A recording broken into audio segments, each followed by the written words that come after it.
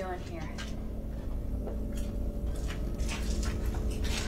One hell of a fucking climb getting up here.